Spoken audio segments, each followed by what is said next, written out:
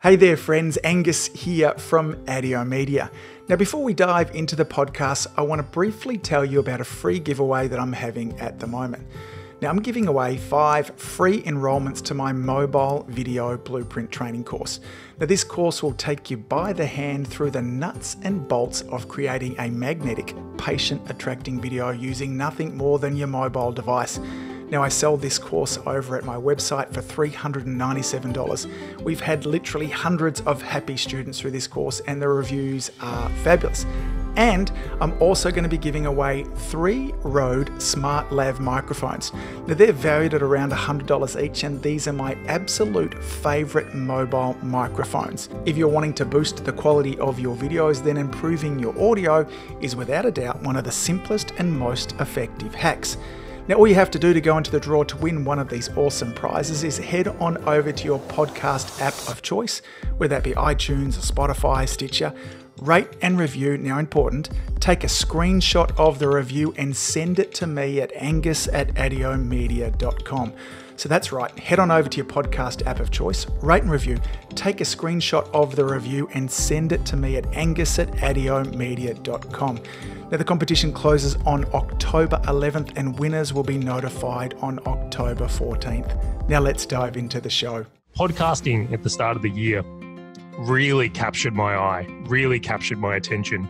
Um, reason being is that I'd used podcasts before to grow businesses, and content had been a huge part of how we uh, you know actively marketed business before. I had a lot of success from it, but particularly in the start of 2019 um, it got a bit crazy. The industry has exploded.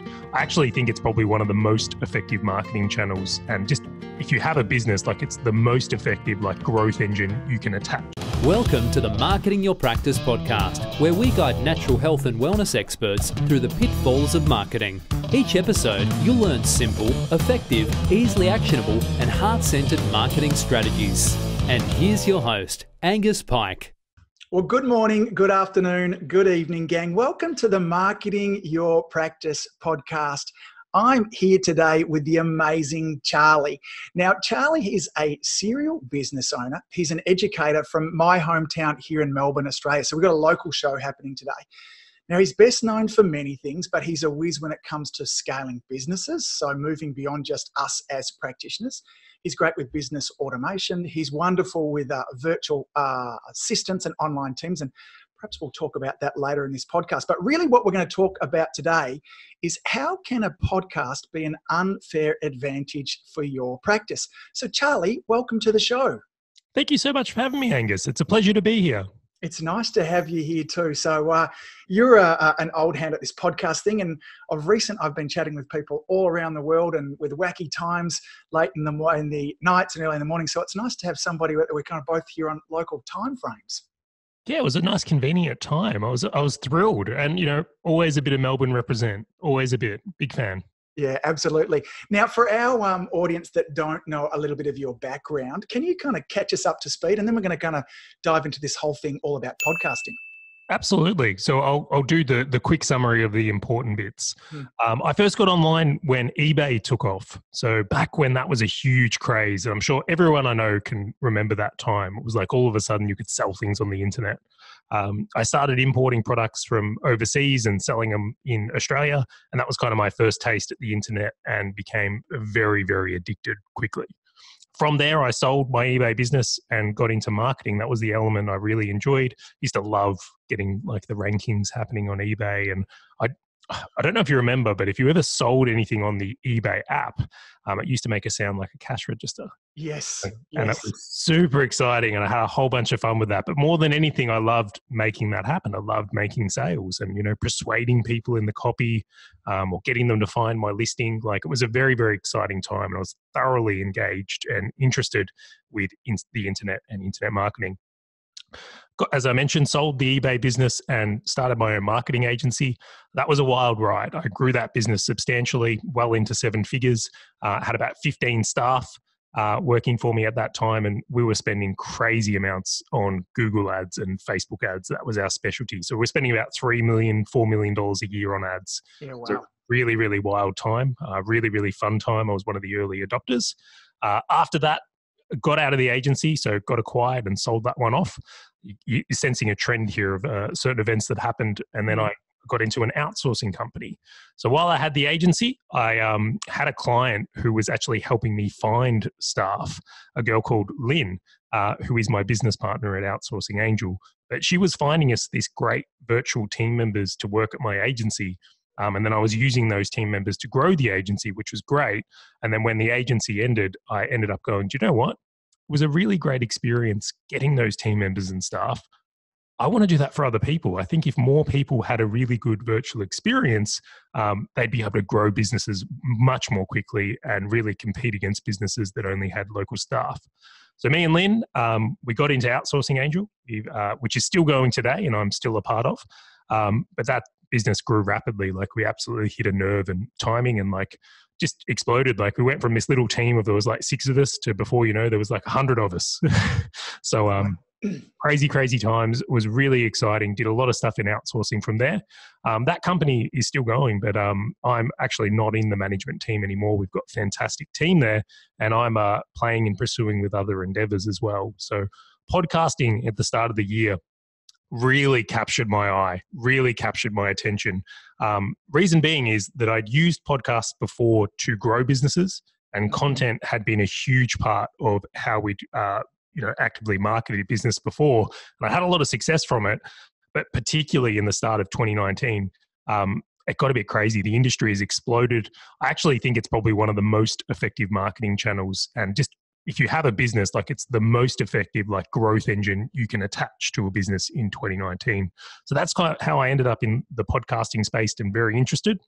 From there, I've grown a media agency that, to no surprise, focuses on podcasts. So I have Valher Media, which is my podcast media agency where we help clients uh, build podcasts to accompany their business to basically be their growth engine, to be that thing that um, helps them attract customers, helps them produce leads and sales, and then ultimately helps them produce profit for their business.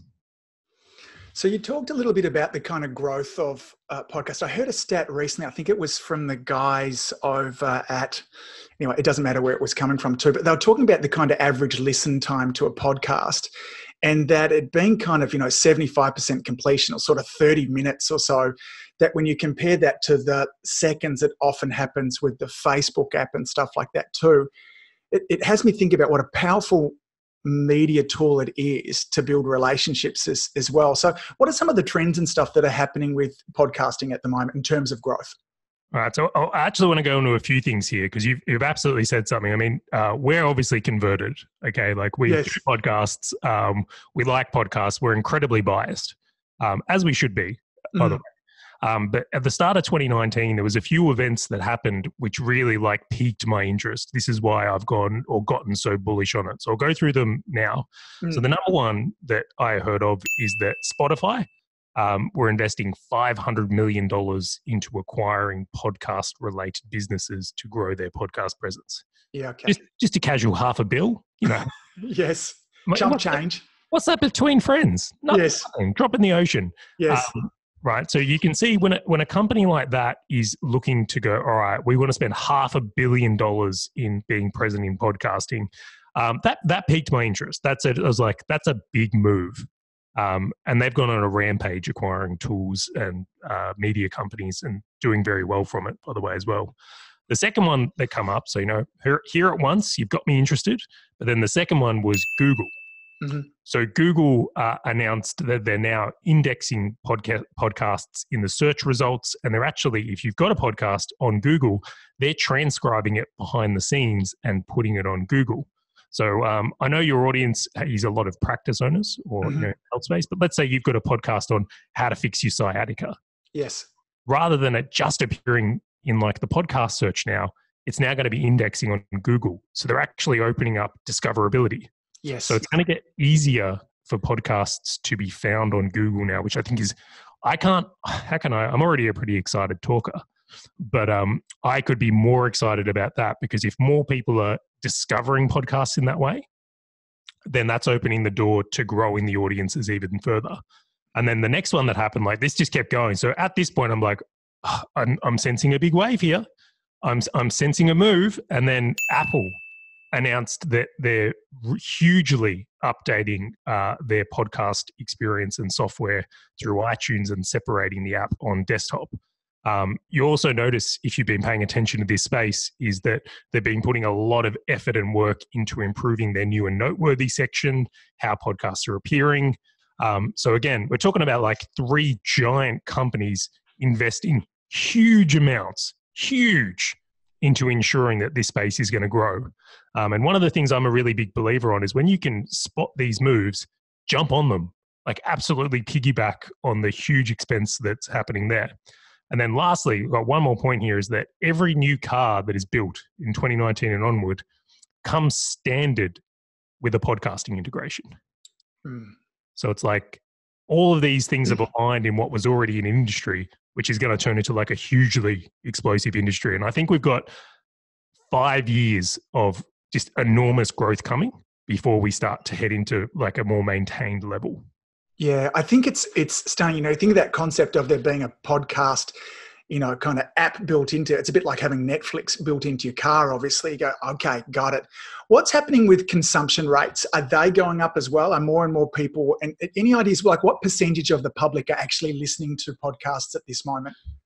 Okay, so I, I want to go back to that because these are the, the big moves, and I'll, I'll loop into that because it's a really important thing. Um, when you think about, uh, I'm going to specifically make this in a business sense now. So if you're a business owner from here and you're doing any form of marketing, right? There's a huge difference between someone who, let's say, watches a 15 second video on Facebook or sees an ad versus someone who's listened to you for three hours in total time. Yes. The quality of uh, that lead or prospect or engagement level from there. So I think podcasting's got a huge advantage, huge advantage in the relationship you build with a potential audience member or potential uh, prospect or lead in coming into your business. But it's become this really, really fascinating thing that as these do better, we're seeing more and more people shift into deeper consumption of content. So, moving to your point from there.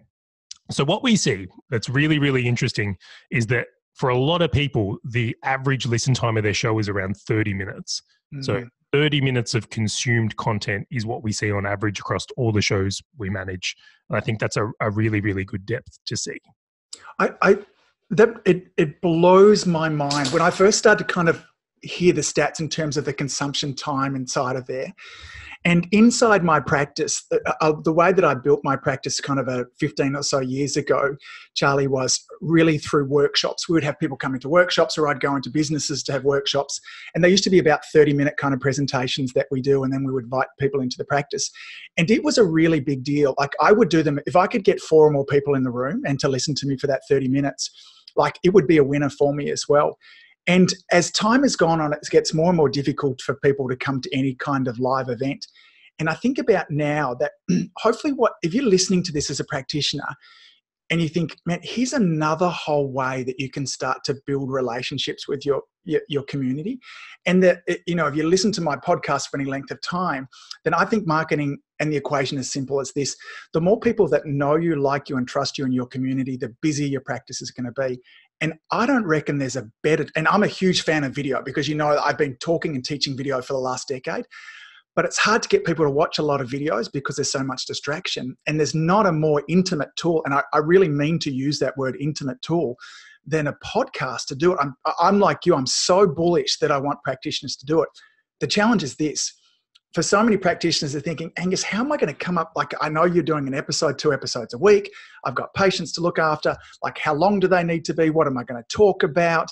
How am I going to get people to listen to it? And then when that starts to happen, they're pulling their hair out as, as well. So, can we circle around and start to identify all of those kind of things there? First of all, like, like what kind of things you know we've got a local chiropractic practice that wants to start a podcast like what should they be talking about how long should it be how do they get it out to their community? And then how do we deal with the tech? Lots of questions. Let's go. Tell you what, let's just let's break this down a little bit uh, from there. That is that is a huge amount of questions. Um, we can get through all of that. I've got yes. some, uh, some fantastic information that would really help from there. But I'll, I'll pose this firstly, and it's like I, I, just look at it this way: if I had a practice and I was a, a chiropractor, we'll use that as the example. Mm. Uh, there's a huge difference in someone coming into my clinic that, uh, let's say, just found me on Google and has just got a problem to solve versus someone that's been educated via the podcast and is coming in and recognizing me as the expert. Yeah, totally. So I've recognized that it's a very different relationship. And the thing, like if I was a chiropractor, I'm pretty sure I know which person I want coming in. Yes. I want someone that's seeking me out because of my expertise. They understand my methodology or ways I like to work with clients, and they're probably going to pay me a premium to have that experience. So yeah. I look at it and go, you know, first up is that if you're an expert in what you do, and I think anyone with a doctor title mm-hmm. is an mm-hmm. expert in what they do, yes, um, then the type of people you want coming into your practice has to shift from this old game of like just Google and pumping AdWords and things like that, because I think it produces um, a churn and burn relationship. I think yeah, it puts totally. a lot of pressure on the practice. Yeah. So that's the first thing I'll say. Um, the second thing I'll say here is that you're absolutely right when it comes to podcasting. Is like it's not a small task. It's not something that doesn't require effort or work. And I think it's absolute madness that if you are a doctor, again, if you are an expert, is that you would spend your time on any of the back end stuff. So the editing of audio or video, the publishing onto things like iTunes and Apple and Google and Spotify and the internet in general, and then actually like creating images or show notes or promoting the actual podcast. My belief, and, the, and I'll preface this, this is an opinion. If you're someone who's into it, you know, each their own. Um. But I think you've got to look at this in a more leveraged way. Like ideally, your expertise and time needs to be focused on those high income generating activities. And then podcasting is something where you want to be the one recording so definitely you making the content and people getting a feel from you. But from that point onwards, I think you should be very much looking towards a service, handing it off. You just record and then hand it off to other people who can take care of all the grunt work and getting it out there, so to speak. Yeah. And I think too, gang, I mean, there, there obviously are two ways, Charley, that I think that people can outsource it. And one is to outsource to companies like yours that do this kind of stuff. Or two, the other side of things is outsource to your own staff that you've already got. You know, if you've got a front desk person, um, you know, that you're paying them $20, $25 an hour, teach them how to do the back end of it. You can still keep it all in house. But the only thing that you really need to be responsible for is being the one in front of the microphone that's building the authority, the expertise. So it doesn't, you know, you don't have to do everything. I think that's really important, you know, to, you know, to touch on that point as, as well. So if we've got over the hurdle of, of that kind of stuff, uh, because and maybe we can use this as an example because you were talking before the show like you actually have a surgeon who has a podcast as well. So what are they talking about? How long are their episodes? How often are they doing them? Um, can you can you share some thoughts there? Yeah I'll, I'll share a whole bunch of things here. And, and i just want to come back to absolutely if you've got underutilized staff in your you know that might be something they can get upskilled or trained in as well. Like i think that's a great example um, and some you know utilizing existing assets can be a fantastic way of doing things. Now i'm very fortunate. We actually manage a few shows in this space. So a surgeon and also uh, someone in a health niche. Um, or oh, sorry they do like it's like diabetes treatments. I don't know. Yep. Forgive my lack of terminology here. I'm not, I'm not down with completely with it but that's what they do. That's what they help with with that. Yes Okay, so the first thing I, I want to really recognize here is like, absolutely, these guys are doing it because they want to produce new clients for their business. Yes. Now, that's like their goal and intent. They're not doing it to stroke their own ego. They're not doing it because they like the own sound of their voice. It's like very much for business gains. So mm. that's the intent. The second thing we kind of look into there, which I think is really important, and it's funny that both of them have said this, is they've both said they want to diversify their income away from client services. So maybe having accompanying services. So I'll give you a really good example is let's say we'll do chiropractic again. They've got their chiropractic uh, treatment where people can come in, but they also want to offer like courses on, I think one of the ones we looked at was like, you know, maybe it's stretching, maybe mm. it's back health, maybe it's um, diet or something like that. So they're bringing in products and offerings that are more informational that they can then sell uh, to accompany either client treatments or sell individually. So it's a great way to kind of create another purchase point. Yes. So this is like, hey, this is where I'm going to get my upsell. This is how I'm going to get some profitability out of what can be a very uh, high overhead business model. So, you know, they're the type of intentions and things people have looked at from there. Um, and I think is really, really cool.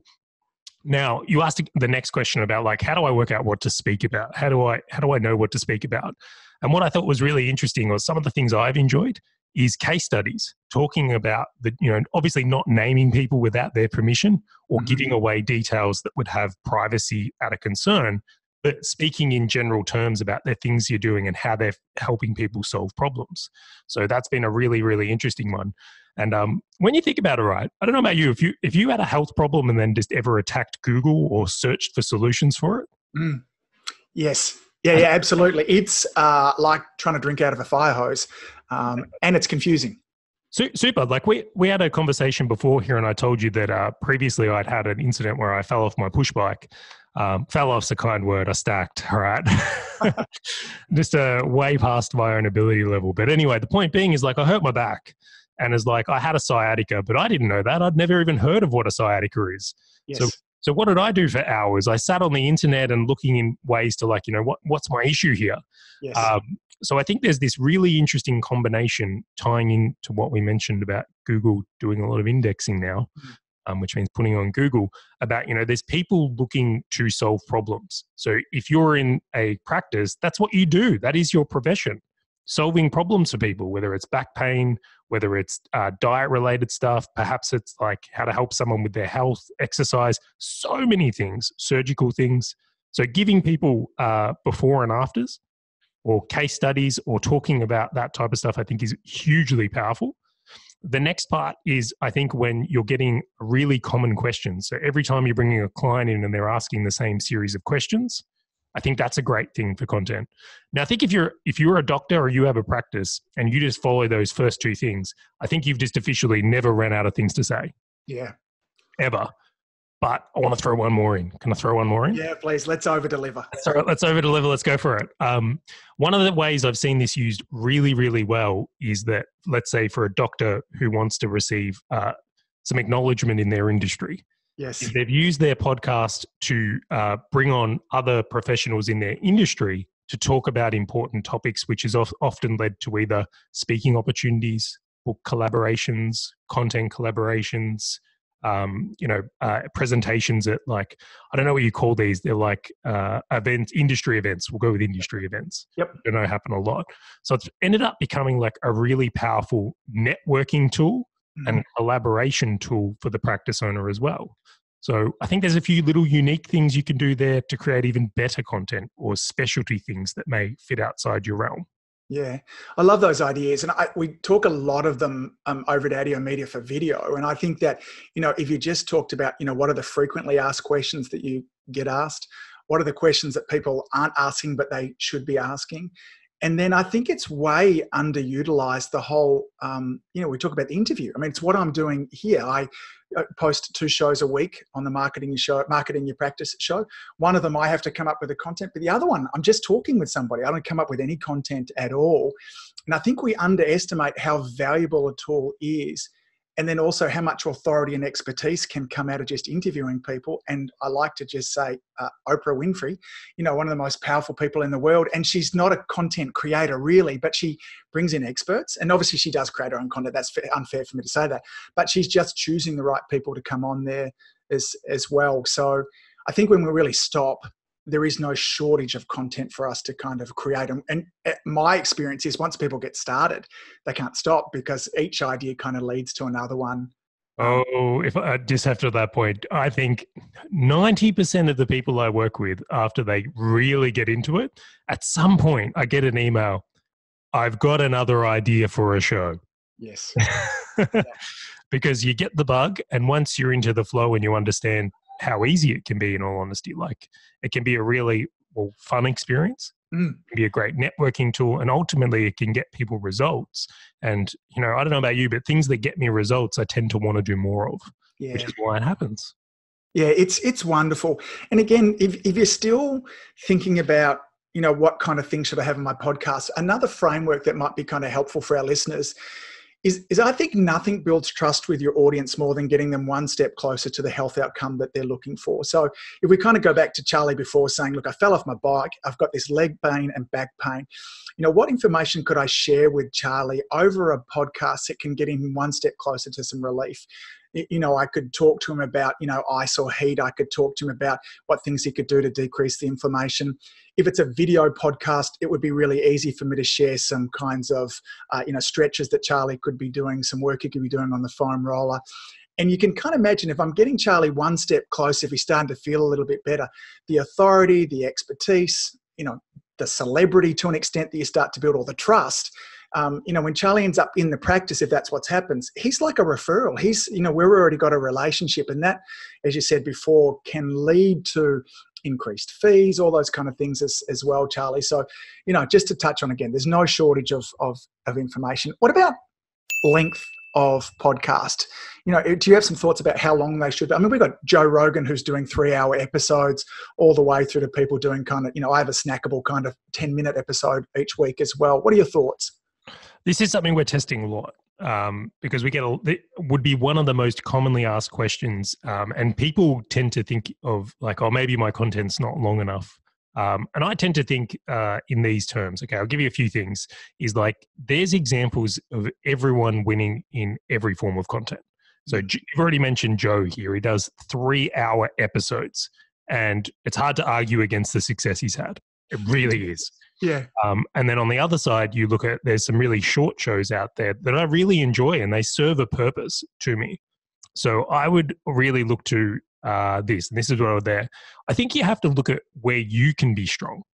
So if you're the type of person that likes interviewing people and you want to go deep and you're really curious and you've got great questions and things like that, and that's going to produce the highest quality and most useful to your audience content, do that on the reverse, if you're the type of person that on your drive home from your practice, you want to sit your iPhone there and put a lapel mic in and just talk about the problems you solved or para or talk in analogies for some client situations of the day, you know, and that's going to be your show and that's going to give you your best type of content, that could be a really interesting place to start.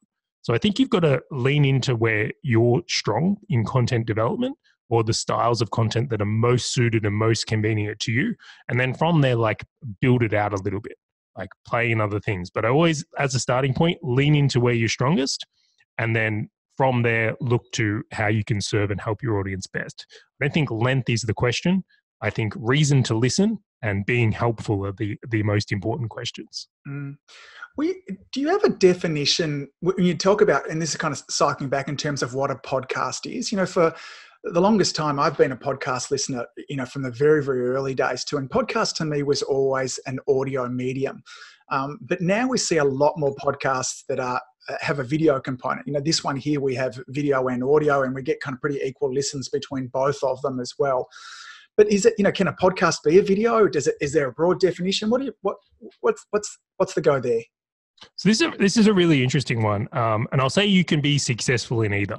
Okay, you don't have to be specifically one, but some interesting things have developed.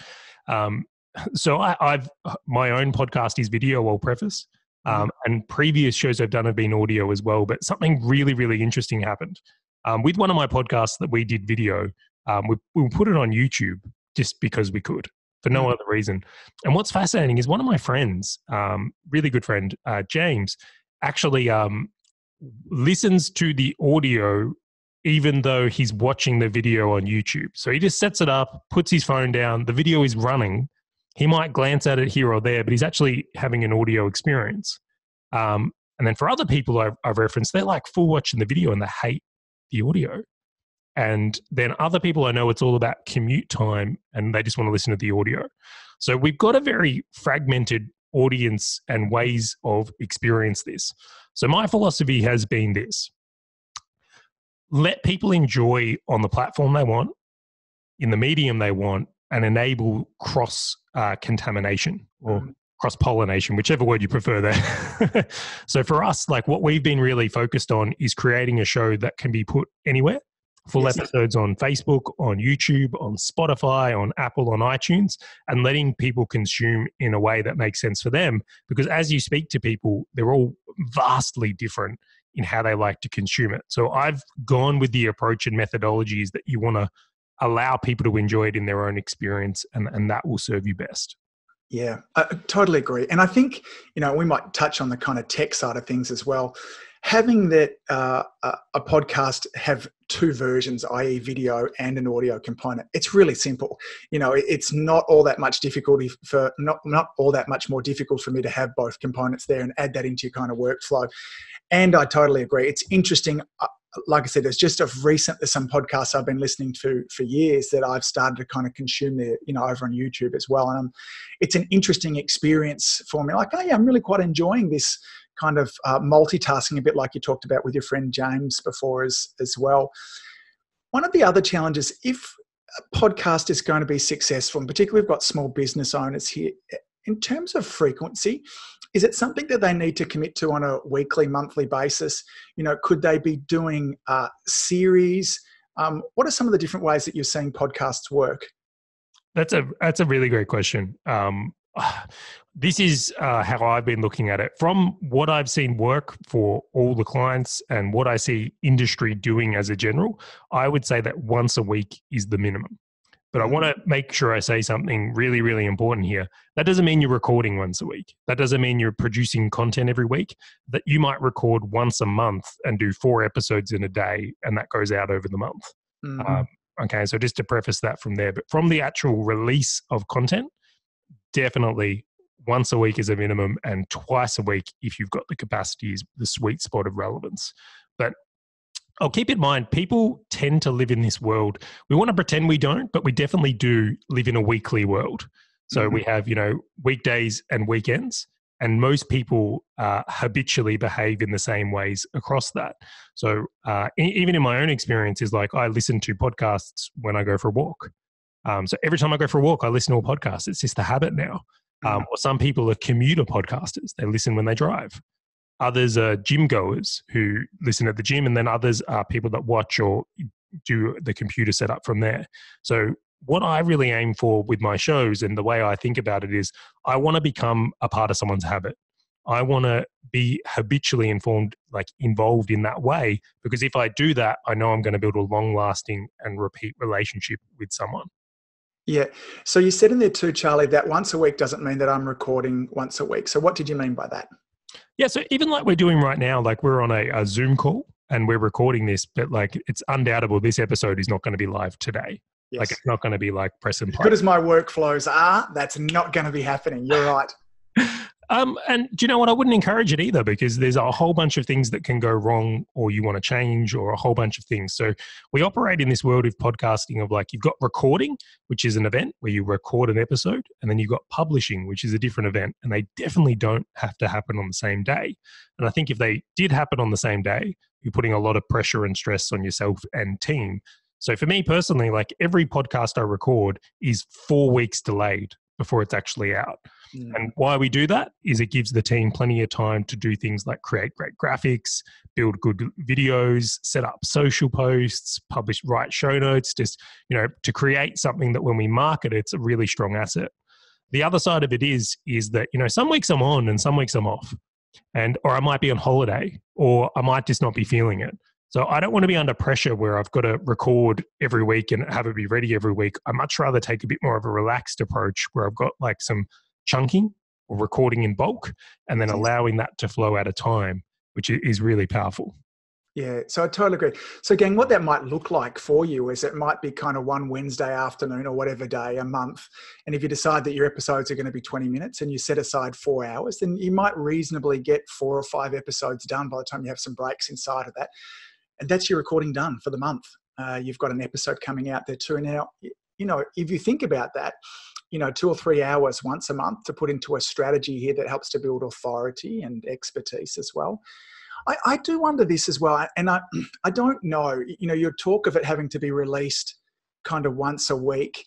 I, I wonder too. You know, I look at the success of the show that I think was NPR put out that was called Serial um, that so many people listened to, which I think it was called Serial, was about the guy did he commit the murder, did he not commit the murder? You know, they have these seasons of shows that come out as well. And, and I often wonder that as a practice, you know, whether we could have seasons of shows where we really picked a topic where, you know, season one was all about sciatica, season two was all about healthy kids, season three um, as well. I, I don't know how that would work, but I, I also wonder that if you can get into the podcast game and your initial commitment was eight episodes to see what kind of happened, what sort of traction that that you could get from that too. Do you think that's a strategy that's worth exploring, or you're like, nah, just do the once a week thing, go from there? What What are your thoughts? Oh, I got a strong opinion here, and I say opinion. Um, right. So first off, I loved Serial. That was a great series, um, and that type of business is a media business or yes. a TV type business. They're not a small business owner trying to generate leads or anything for their practice or trying to be profitable through there. So this is kind of where I look at it and go like, in general, I want leads and sales for my business every week. Yes. So then I want podcasts going out every week that have a ability to generate and create that experience. Mm. So I, am very biased towards creating a weekly show if you're a business owner. I mm. think that there is a phenomenal value in that habit and way of looking at things from there. So that would absolutely be the way I thought of it and the way I went about it. Um, again, that's just that is a personal opinion, but it's also what I see working really, really strongly. So mm. Serial was a phenomenal one from there, and much like many TV series, like you know Game of Thrones and things, they have their event and they have these huge off seasons. Unless your business can operate and survive out of it in that way, then I probably would lean away from that concept. Yeah. But I want to. Sorry, sorry, I just want to tackle one more thing there though, because you mentioned something that's really interesting about you know maybe eight episodes to try it out. I just don't think that's enough. I would really say that if you're going to get into podcasting or this is something you want to do it, actually, I'll, I'll even make this bigger. Do, do you know ultimately why I love podcasting so much? No, tell me more. Compound interest. Yes. Oh, God, I love it. It's like one of the only things in marketing that you can create compound interest. When you have a podcast, each episode builds on the last. It's not a new start. And there's very, very few other things that offer that in business in the same capacity. Mm. So, like, um, much to like financial success and wealth creation, compound interest can be amazing. Um, and I really think you can get the same out of podcasting. And I've experienced it myself so many times and seen it so many times. But if you look at it like when you're starting from zero, the reality is, is that getting your initial traction is probably one of the most challenging parts. But years into it, you can almost be lazy and people will listen to you. Mm. Um, so you've got this really interesting thing where it's like eight episodes. I'd probably say is a bit thin. I'd yeah, say you'd want to go about it for like a three month minimum, yes. and then whatever you're achieving towards the end of that three months, that's your new baseline. So you've mm-hmm. got so much more chance of having a much bigger next three months, so to speak. So I wouldn't be like make it eight episodes and see how it goes. I'd like commit to three months and then towards the end of the three months start judging the experience if it's suitable from there. Yeah, I, I, think that's great advice, Charley, I, and I totally agree. I, I we haven't talked about this because when we said at the start in terms of defining, like, what's the outcome that we're after with our podcast, and the outcome that we're after with our podcast is really leads or new business through the door. I also think that there's another thing uh, that another goal that we can have with our podcast that can coexist inside of that too, and that's retention of our existing patients as well. And in that, I can see that there's a framework that seasons might work there. In that, if you happen to find me via the old Google um, and you're in my practice as well, and you do have sciatica and you're on my adjusting table, and I want to have a conversation with you that is a 30 to 40 minute conversation that's not practical for me to have at that moment because I've got five people waiting for the next appointment. I think it's there's an opportunity here for you. You happen to be saying to me, look, Angus, is there some foods that I could be eating that will help my body recover? I'm like, Charley, Great question. I've answered that in episode two of my podcast. I'm going to have Mackenzie up at the front desk send that through to you as, as well. It's 30 minutes, it dives deep into that. And then once you've had a listen to that, we can talk more about that on our next visit. I can see a podcast in that episode, in that situation through there, that to be great for me to add extra value to you, for me to continue to build authority, all those kind of stuff, and help you get closer to your result. And in that way there i might say that there might be some benefits you know from a retention tool as, as well do you have some thoughts about that as a strategy so I, I want to use myself as an experience here. Okay, we're talking about going to the chiropractor. When when I went to the chiropractor for my sciatica, they had me download some app, and then they put exercises on the app. And I'm going to be honest, it was a pretty poor after experience. Yes. Like was, I could have found it on YouTube. Like, what are you, what are you wasting my time for? Yes. Um, what I would have loved is what you just said I would have absolutely loved if you had a similar story, if you had an explanation of why you're giving me these things to do and how important they are. And then if you could really help guide me to my path to recovery, ultimately, it would have been amazing. I would have loved that because I would have put that podcast on on the way home and you would have got 30 minutes with me to yes. explain to me what's going on, what needs to happen, what's going to come next, yeah. how to go about it. So I think that's a phenomenal idea. I think that's better than some of the ideas I've referenced early. So for that alone, it would be worth doing a podcast for your practice. Yeah. But I'll throw something in that I think is even more important a few weeks like i had this sciatica incident and then i had to go to the i was going to the chiropractor for months and towards the end of it like i was feeling fine. Like after four weeks and they released my back or whatever and um, i was feeling much much better right? What they did a really poor job of is explaining the maintenance part or while i was still going to the chiropractor. And I was like, uh, towards the end of it, I was having this experience where it just felt like a rort of financial exchange. Yes. Like I didn't actually feel like he was helping me much more. Couldn't explain much of the stuff he's doing. I don't know if he was having a bad day or really busy as well, but it's like the communication was terrible. Mm. Um, and ultimately, I stopped going there because I'm like, well, I don't feel like I'm gaining anything out of this. More than anything, it's time out of my day, and I'm spending money for no perceivable uh, gain here. Like I can stretch. I'm well into my yoga stuff again now. Things are feeling really great. Like, why should I be going? So I think you can really attack a lot of those things because I could have been dead wrong. Maybe I was at my most dangerous point. Who knows? Or maybe it's you know, probably shouldn't deadlift after a sciatica, but who knows? again? Yeah. I think there's a huge opportunity to improve the communication and relationship with your client there. And yeah. I look at that and said, if that chiropractor had had a podcast that would have done what you just suggested, I would have had a much better relationship with them. And ultimately, I mean, not that we want to make this the thing, but I would have probably more happily spent more with you. Well, if they and and and not because spending more is greater. There's value. Like I think as service providers, we ultimately want to be providing more value than what we're charging for. That's what you know is the foundation of a really great business. And what what I love about things like video and any online communication podcast as well is its ability for leverage um, you know, and for ease as, as well. Because if I had had that same conversation to you where I said to you, Charley, if you come back on Wednesday night, I've got a workshop here that's going to talk to you about, it's like, oh, man, Wednesday nights, that's when I'm normally going out for my, you know, I've got racing on Wednesday nights on my bike. But if it is, by the time you get to the front desk, if Mackenzie has texted that through to your phone and you're in your new 2019 car that has a podcast app in it, and then you've got me while you're driving home, we're having that conversation there.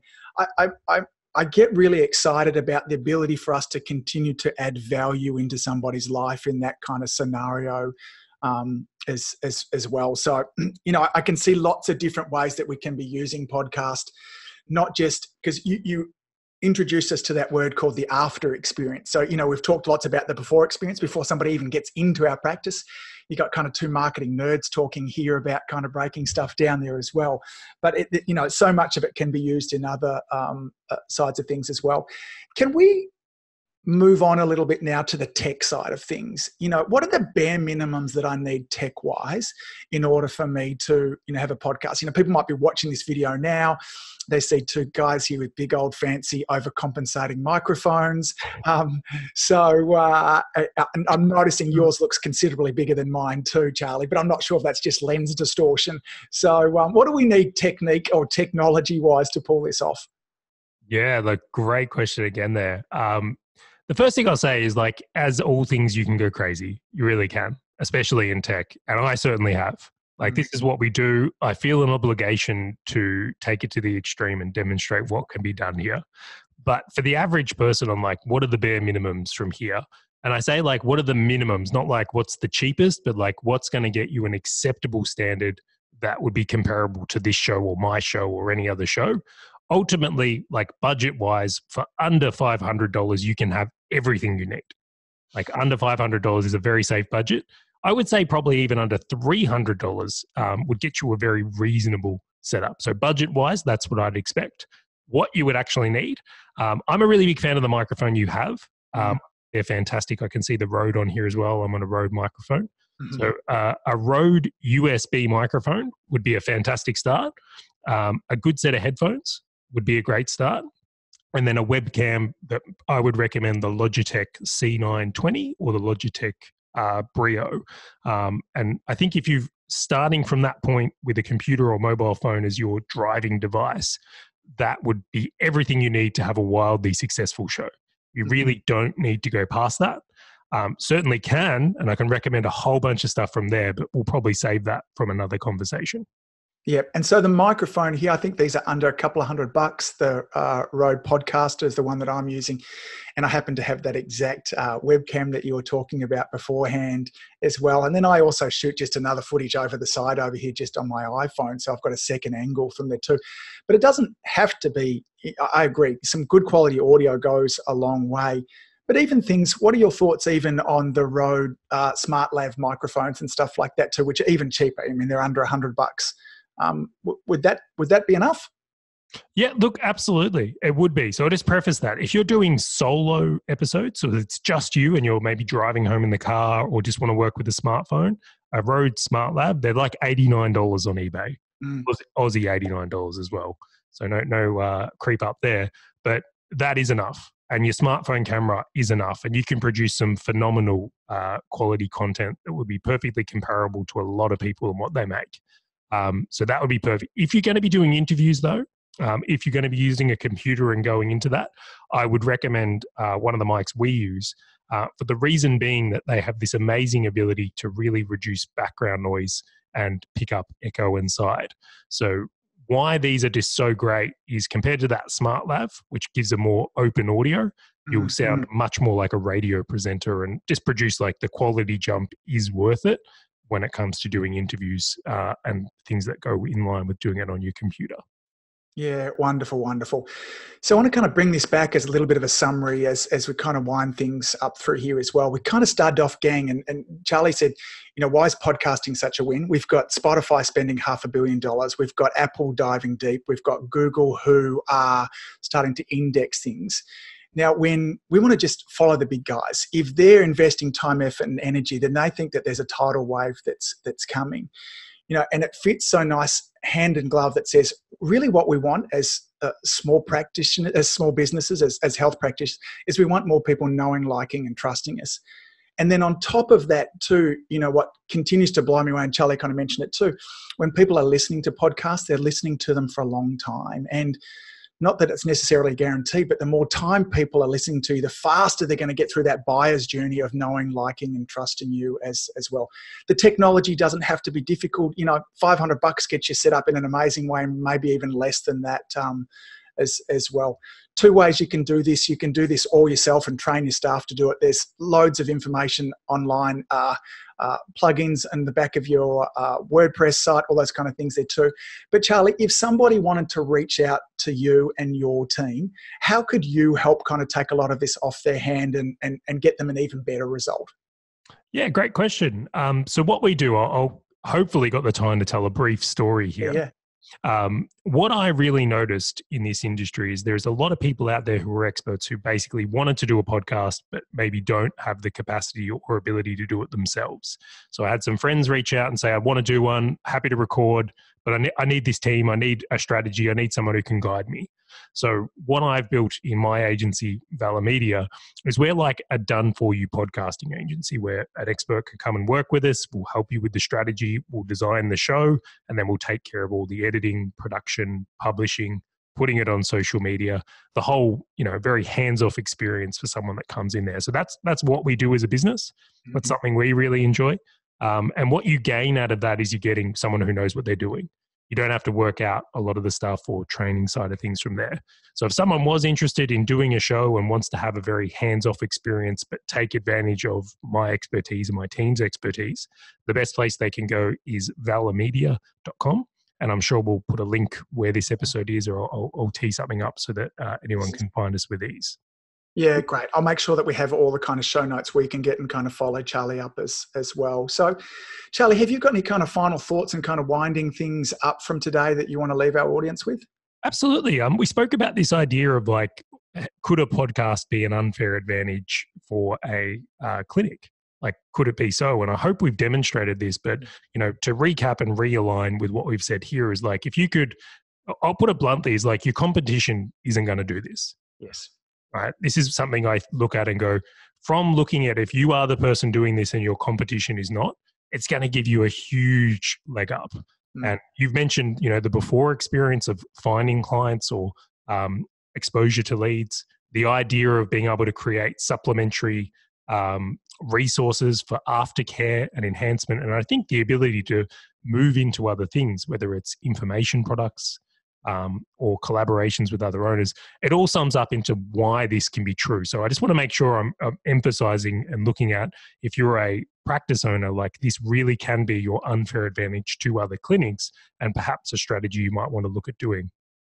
Yeah, love it. You've got me hooked on it too. I, I think it's a great tool. I think it's a, a, and and that concept. I don't think you could have put it better in terms of it being an unfair strategy um, as well. So, Hey, Charley, on behalf of the Marketing Your Practice podcast, thank you, buddy, for sharing so generously with us today. I feel like there's another whole conversation I'd love to have you in the future of this whole idea of virtual assistants and how we as uh, health practices could kind of take advantage of that. So, as opposed to, you know, lots of the times the stuff that we need done, we don't require staff in in house. So, maybe can I be so cheeky as perhaps sometime down the track to have a round two where we might kind of dive into how we could do that? Would be my absolute pleasure. Would love to come back on. Lovely, mate. Well, until next time, gang, you've been listening to the Marketing Your Practice podcast. Charley, thanks for sharing with us so generously here as well. See you soon, mate. Angus back here again, and thanks for listening to the show. Now, don't forget for your chance to win one of five enrolments to the mobile video blueprint training, valued at $397, or one of three Rode Smart Lav microphones, be sure to head on over to your podcast app of choice rate and review, take a screenshot of the review and send it to me at angus at adiomedia.com. Competition closes October 11th and winners will be notified on October 14th. If you enjoyed listening to this podcast, you have to come and check out the Community Influencer Program. It's my monthly coaching program where we take all this material and I'll work one on one with you to apply, implement, systematize, and help guide you and your practice to the next level. Now, you can join me on over at adiomedia.com forward slash join. That's adiomedia.com forward slash join. I'd love to see you in there.